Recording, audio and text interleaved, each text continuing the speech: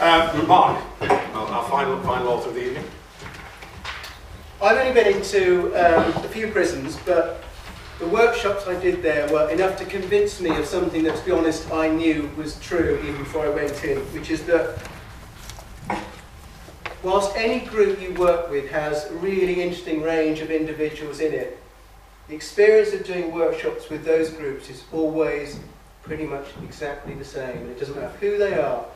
I've worked with kids of eight years old in the school. I've worked with people who are over 80. I Worked with prisoners.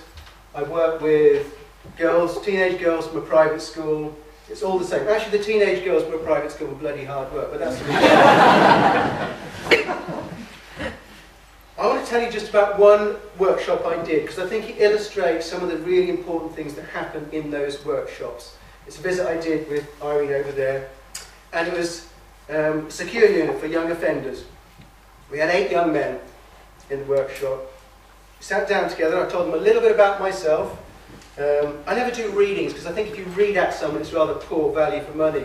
I mean, the guys are trapped there all the time. It's bad enough to drag them into the room and trap them in front of you again. Then we talked a little bit about the books they were reading, the ones among them who were reading.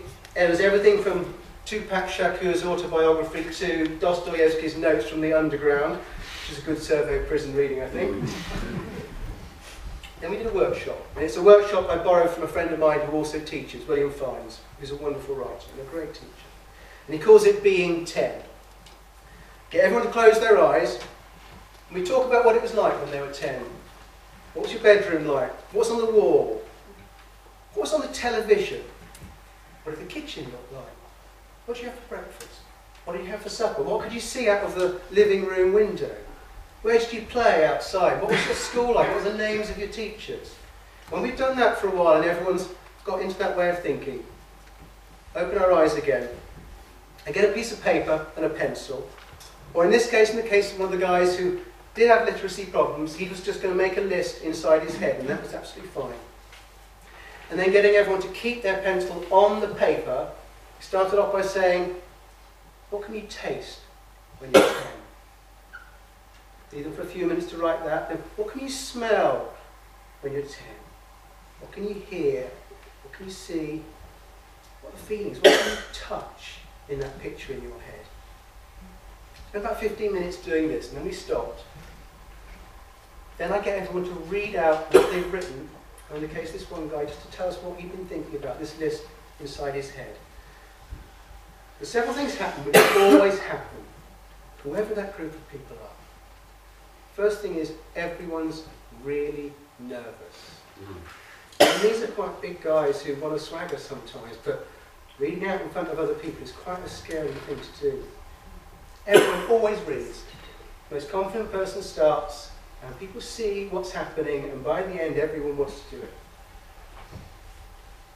The other thing that happens is it's always interesting. There's no swaggering what they're writing, there's no adventure, there's no great thrills. Just talking about your childhood to other people is really fascinating for them.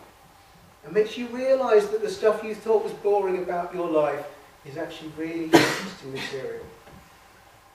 Then stranger things happen as well. It happened to at least two of the guys in this group of eight, and it always happens in a group. For some magical reason, as they're writing this list of things they can taste and smell and touch, they find themselves writing a story. Two wonderful stories came out of that group, and I remember one of them very vividly. The young guy I was talking about, when he was 10, he and his mate used to break into abandoned warehouses at night and they put roller skates on and they skate round in the pitch darkness with these sort of smashed new, windows at the side. One evening they were doing this they were standing at the side putting their skates on and they heard someone cough really loudly nearby. And then he described how difficult it is to get out of a smashed warehouse window when you're wearing roller skates, thinking someone is going to kill you. There's something else that always happens. There's always at least one person in the group to whom this happens. This was a guy who was sitting in the corner, least willing to join in. We could see him right at the beginning. I knew who he was, and I was thinking, you're the one I want. We've got to kind of bring you into the fold, haven't we? And he was all curled up in himself, he was uncomfortable. He did the exercise, though, and he was the last person to read, I think. I can't really remember what he wrote about it because my memory is so clouded by the response. He started reading, and after a few sentences, there was a kind of stillness in the room. You know, when you're at the theatre and it all comes right, and everyone went. Everyone else could hear that it's brilliant. And then what's great was he noticed that everyone else was noticing it was brilliant. And I got a tear in the corner of my eye. And I think some of those rather sort of butch guys might have done it as well. Hiding. That's the kind of gold dust I'm always looking for in a writer's workshop. It's not rare, it's not uncommon. If you know what you're doing, you can get it every single time.